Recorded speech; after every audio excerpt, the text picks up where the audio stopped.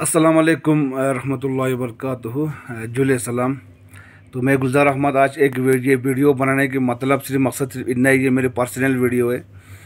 ये वीडियो बनाने के मकसद सिर्फ़ इतना ही है कि मैं एडमिनिस्ट्रेशन से और डीसी कारगिल और द्रास के एस डी एम द्रास के एस साहब से रिक्वेस्ट करता हूँ कि अभी जो मैंने हमारे रंबीरपुर में कुछ लोगों के दबदबा से, कुछ लोगों की गुंडागर्दी से, जिसमें रशीद, माशा अब्दुल्ला और कुछ लोगों की गुंडागर्दी से जो है हमारे गाँव के लोगों ने जो मेरे से बाइकाट किया है।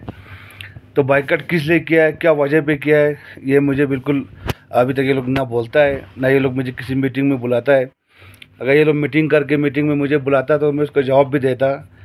तो मैं सिर्फ़ इतना कह चाहता हूँ कि लैंड माफियों के ख़िलाफ़ मैंने आवाज़ उठाई थी।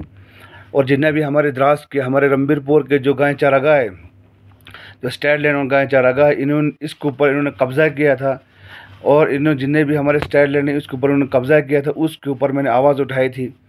ये बात बिल्कुल सच है। और हमारे डिग्री कॉलेज द्रास के पास जो जितने भी स्टैट लैंड गाय चारागाह ज़मीन था, इसके ऊपर जो इन्होंने कब्रस्तान के नाम पर कब्ज़ा किया था तो उसके ऊपर मैंने आवाज़ उठाया था। और ये बात सच है।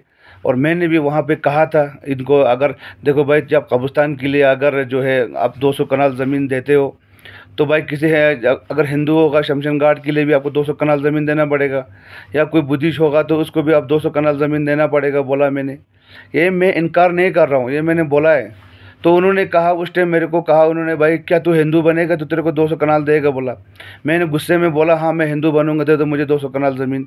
मैं मैं भी वहाँ शमशान घाट बनाऊँगा मंदिर बनाऊँगा जो भी बनाऊँगा। आप लोगों ने कब्रस्तान बनाया तो मैं मंदिर वो जो भी बनाऊँगा मैं बनाऊँगा। आप मुझे दे दो बोला। ठीक है जी उस टाइम हम सब हम सब झगड़े में था। मैं उन्होंने बोला तो मैंने भी बोला। उन्होंने बोला कि अच्छा तो, तो अगर तू हिंदू है तो तुझे दो सौ कनाल ज़मीन देगा बोला। मैंने बोला हाँ मैं हिंदू हूँ लो मेरे को दो सौ कनाल ज़मीन मैंने गुस्से में बोला। मैं इनकार अभी भी नहीं कर रहा हूँ। उसके बाद जब हम कोर्ट में पूछ गया, पाँच सरपंच के ऊपर मैंने जब कोर्ट में जब मैंने केस दर्ज किया, वहाँ पे भी हमारे द्रास रंबीरपुर के पंच ने वहाँ आके जज के सामने बोला कि इसको जो है दोनों कमेटी ने जो इसको बाइकाट किया हुआ है। तो वही दो कमेटी बोलने से मैंने भी बोला, भाई, दो कमेटी ने मुझे से बाइकाट करवाया है और उन्होंने मुझे जो है नमाज़ पढ़ने के लिए भी उन्होंने मुझे पाबंदी किया है बोल के। मैं इनकार नहीं कर रहा हूँ। मैंने, उन्होंने जो बोला, मैंने वही कोर्ट में भी बोला। तो पाँच, हमारे पाँच ने उस टाइम बोला, भाई, देखो, गाँव में जो दो कम, दोनों मस्जिद की कमेटी है, दोनों मस्जिद की कमेटी ने मेरे को बोला, इसके साथ बाइकाट है। तो मैंने बाइकाट इन, इसको कर दिया बोल के। ठीक है जी? उसके बाद इन्होंने मेरे को कुछ नहीं बोला कि ना मुझे मीटिंग में बोला कि ये बोला भाई तेरे से बाइकाट किया है बोल के। इन्होंने आपसी मेरे साथ बाइकाट कर दिया है। तो यहाँ तक कि जो मेरे रिश्तेदार है, जो मेरे भाई लोग हैं, चचरे भाई लोग हैं, जो मेरे रिश्तेदार है उन्होंने भी बाइकाट गाँव, इन दो बंदे की धमकी से कर लिया। चलो ठीक है, इन्होंने बाइकाट कर लिया मुझे उसका कोई एतराज़ नहीं है, कोई वो भी नहीं है। इनकी अपनी मर्ज़ी है, भाई मेरी अपनी मर्ज़ी है। तो अब ये लोग जो है मेरे को जो गाँव के बचत आता है जो गाँव के फंड्स आता है उसमें भी इन्होंने मेरे को बाइकाट करके रखा है।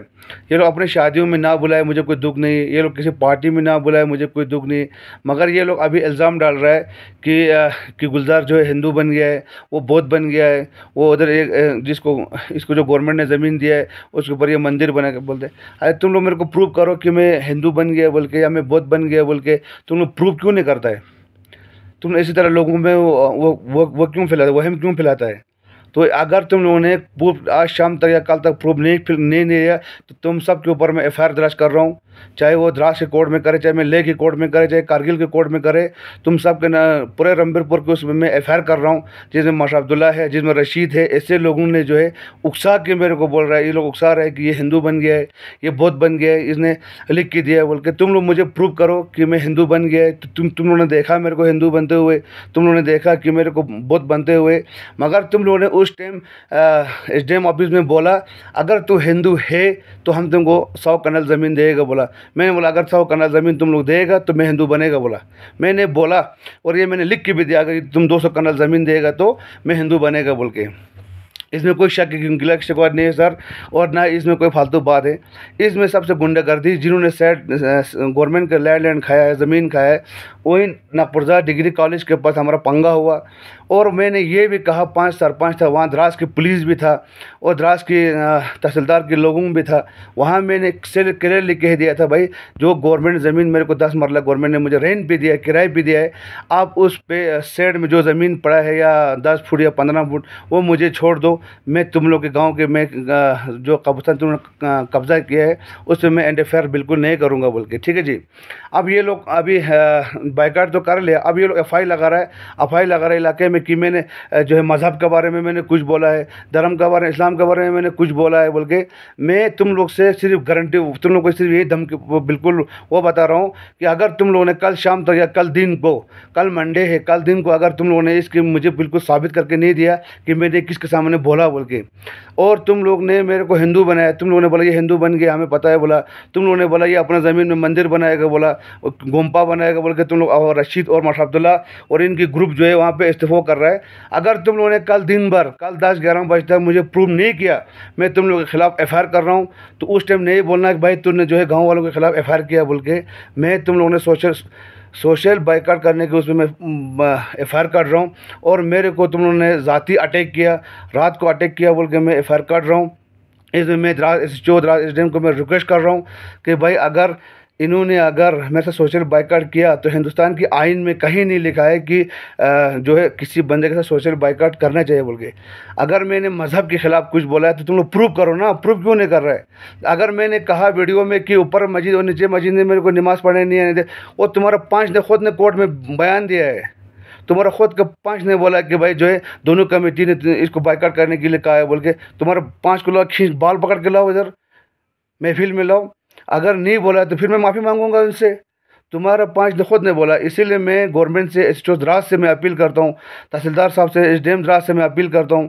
अगर कल तक इन्होंने मुझे फैसला नहीं किया भाई मैं हिंदू बन गया, मैं बुद्धिस्ट बन गया बोल के ये लोग प्रूफ नहीं दिया तो मैं इनके खिलाफ़ मैं एफ़ कटूँगा। तो उस टाइम कोई भी मेरे को मेरे को या ये ना बोले भाई तूने जो है इनके ऊपर एफ़ काटा बोल के।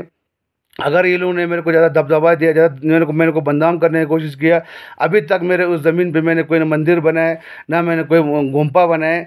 अगर कल शाम तक ये मेरे को फैसला नहीं देगा तो मैं ओपन ही खुला द्रास के बाज़ार में मैं जो भी मज़हब ज्वाइन करना होगा, मैं वो मज़हब करूँगा। और जो फिर तो मुझे कोई भी नहीं रोक सकता है कोई ज़मीन पर मुझे मंदिर बनाने के लिए या गुम्पा बनाने के लिए मुझे कोई नहीं रोक सकता है। अभी तक मैंने किसी धर्म पे, किसी भी उसमें मैंने, मैं गया नहीं। हाँ मैं एक बार इन्होंने जब मेरे झगड़ा किया मैंने गुस्से में बोला था, अगर तुम लोग दो सौ कनाल ज़मीन देगा तो मैं हिंदू बन जाएगा, मैंने कहा था। मैं आज भी कह रहा हूँ कि मैंने कहा था, मैं इनका थोड़ी कर रहा हूँ कि मैंने नहीं कहा था बोल के। तो इसीलिए मैं द्रास, एस साहब से रिक्वेस्ट करता हूँ और द्रास के तहसीलदार से भी रिक्वेस्ट करता हूँ कि जल्द से जल्द इन इन लोगों को बुला के कार्रवाई की, अगर हाँ इनको साबित है, इनका बस गवाह है, सबूत है कि मैं हिंदू बन गया बोल के तो ठीक है, फिर तुम लोग बाइकाट करो, सोशल बाइकाट करो, मुझे फिर पूरा द्रास मेरे से बाइकाट करो, मुझे कोई एतराज़ नहीं होगा। मगर ये लोग ने खा मखा मेरे को बदनाम कर रहा है कि ये हिंदू बन गया है, ये उस ज़मीन पे मंदिर बना रहा है, इसलिए हमने इसको ज़मीन नहीं दिया बोल के। अरे भाई, ज़मीन दिया, मैंने मंदिर बनाना है तो मैं तुम लोग को पूछ के बनाऊँगा, तुम लोग को डर के बनाऊँगा, डर के नहीं बनाऊँगा। अगर मैंने वहाँ गोम्पा बनाना है तो मैं तुम लोग को डर, तुम लोग को डर के बैठूँगा मैं मैं किसी को नहीं डरूँगा। इसीलिए मैं द्रास एस से अपील करता हूँ, और द्रास के एसडीएम से भी अपील करता हूँ, भाई इनके साथ जो है इनको बुला के कल दस ग्यारह बजे तक मेहरबानी करके मुझे फैसला दीजिए, ताकि मैं भी कन्फ्यूज़ बना रहा। हूँ अगर ये लोग मुझे हिंदू समझता है, अगर ये लोग मुझे बौद्ध समझता है, या सिख ऐसा ही समझता है तो ठीक है, मैं उस धर्म में जाऊँगा। जो धर्म के ये लोग मुझे मानता है, मैं उस धर्म में खुला जाऊँगा भाई। कि मैं इनको डर के बैठूँगा? ये लोग क्यों मुझे बदनाम करने के चक्कर में जा रहा है? इसलिए मैं गवर्नमेंट से अपील करता हूँ कि मेरे इस, उस पर जो है मेहरबानी करके आप कोई फैसला दिया जाए। और एस डी एम द्रास और एस द्रास को तो मैं बोल बोल के थक चुका हूँ, एक साल हो चुका हूँ मैं बोलते बोलते। तो एस द्रास से मैं अपील करता हूँ और डी सी कारगिल से भी मैं अपील करता हूँ, मेहरबानी करके इन सबको बुला के, इनकी कमेटी को बुला के फैसला कीजिए कि मैंने कब जो है हिंदू ज्वाइन ज्वाइन हो गया, कब मैं जो है बुद्धिस्ट धर्म में गया बोल के तो ये लोग मुझे सबूत दीजिए। तो ताकि जो अगर इनका सबूत है तो ठीक है। तो अब मुझे फिर से करके ये लोग इस तरह गाँव में बदनाम कर रहा है कि ये हिंदू बन गया, ये सिख बन गया, ये बुद्धिस्ट बन गया, ये ज़मीन पे मंदिर बनाने वाला है, इसलिए हमने वहाँ इसको ज़मीन नहीं दिया बोल के। अब लोग मुझे प्रूफ देना पड़ेगा। अगर कल दिन तक आपने मुझे प्रूफ नहीं दिया तो मैं आप लोग के खिलाफ एफआईआर काट रहा हूँ, मैं हाई कोर्ट में जाके एफ़ काटूँगा, फिर आप लोग नहीं बोलना। असलम